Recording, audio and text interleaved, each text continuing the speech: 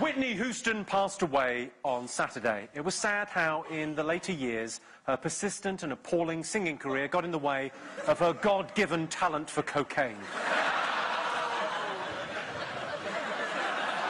Sony, her record company, has been criticised for doubling the price of Whitney's albums. One industry insider said he couldn't comment because he was too busy running a bath for Sting.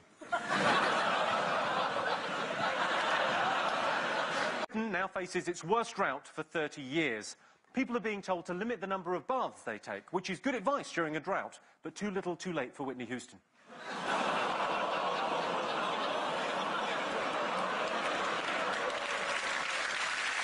we are. That was a bit of a roller coaster of emotions for our audience. Shocked, appalled, laughed, applauded. And is spending 200 million pounds scrapping nine Nimrod spy planes.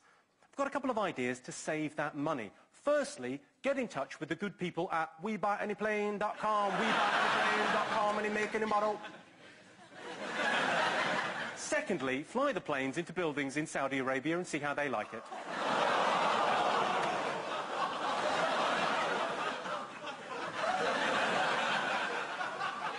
Too much? Well, too late. Um, it's live, what can you do? Um.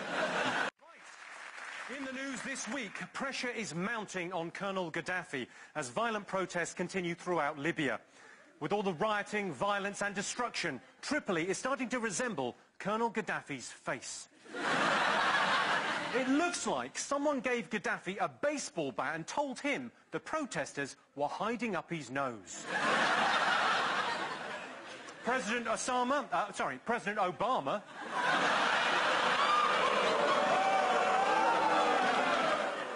yeah, fight the power. Um, President Obama has said all options are on the table for Libya. Unfortunately, the table has been shelled by a tank and the options are on fire. Earlier today, Gaddafi likened himself to the Queen of England, which is ridiculous. Apart from the fact they're both incredibly rich, out of touch, unelected heads of state who love shooting things and have crazy families, they're almost entirely different. Colonel Gaddafi has blamed the riots on Osama bin Laden. Gaddafi fell out with bin Laden after he nicked his idea of blowing up planes full of innocent passengers.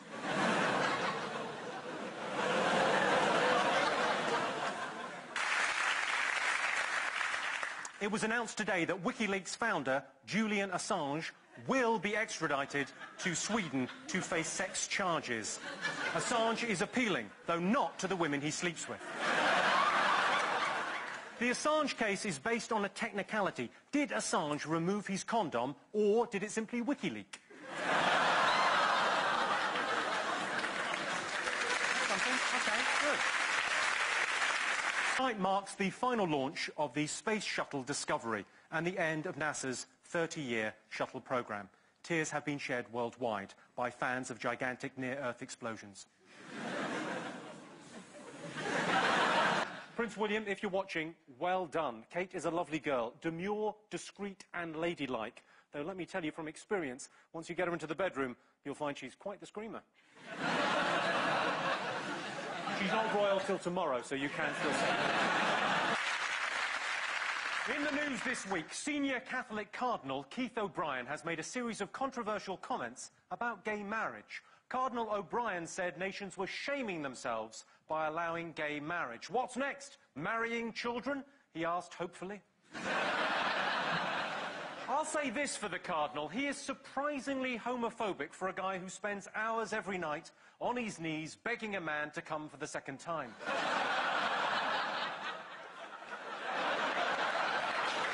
rude. Funny because it's rude. Just rude. Not clever, it's just rude.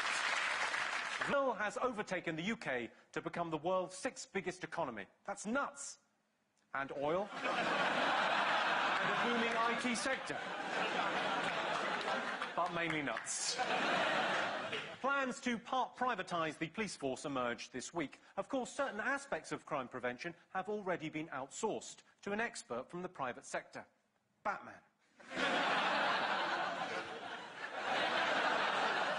Just silly.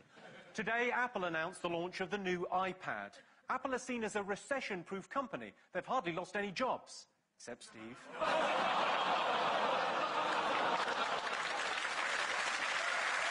A bit of wordplay. No one got hurt.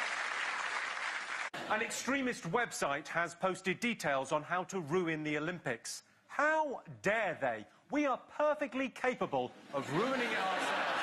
Thank you very much, Mr. Al Qaeda. Security forces have been put on high alert and told to keep a special lookout for any athletic looking foreigners.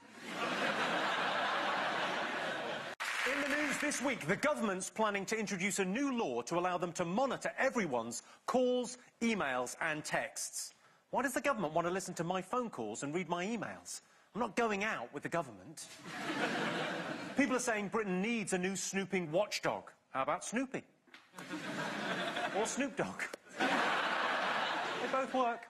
Of course, monitoring the internet is vital for public safety. An early intervention by police could have prevented pop star Tulisa from being shot in the back of the throat.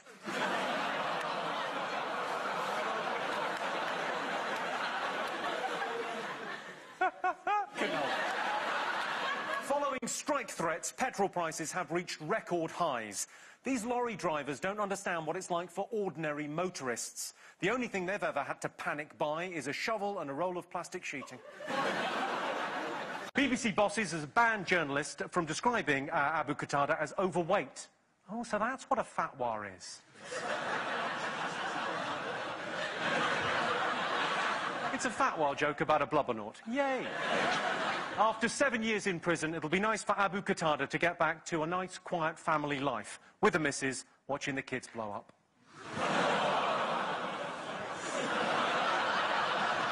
There's worse coming. And it was announced yesterday that the Queen's Diamond Jubilee concert will feature Dame Shirley Bassey, Elton John, and Paul McCartney, which is the perfect lineup for the Queen's Silver Jubilee, which was 35 years ago. Her Majesty has requested that Elton John plays Candle in the Wind because it always makes her laugh. Couple of viewers in.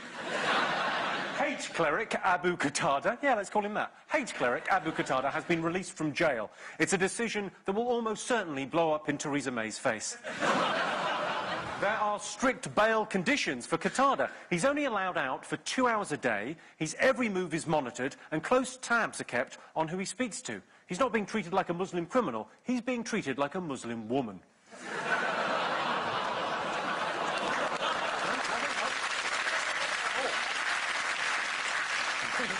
You really took your time deciding on that one. A new report into elderly care says that compassion should be as important as medical skill. Nurses will no longer use the terms old dear or biddy. They'll now say person, as in just leave that person on the trolley in the corridor. Recommendations also include housing the elderly in self-contained individual patient units or coffins. the sister ship uh, of the Costa Concordia, the Costa Allegra, has gone adrift without power in the Indian Ocean.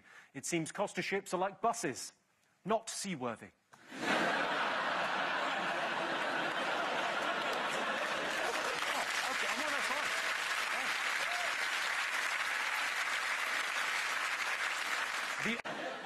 This week, Pakistani security forces demolished Osama bin Laden's former compound. I'm not sure how. I imagine they flew a couple of planes into it. it's what he would have wanted. Barclays Bank has been caught exploiting a half a billion pound tax loophole. Politicians are putting pressure on Barclays boss, Bob Diamond, to waive his bonus. Bob Diamond responded, Ah, look at my bonus. And that was the weekend news. Charlie.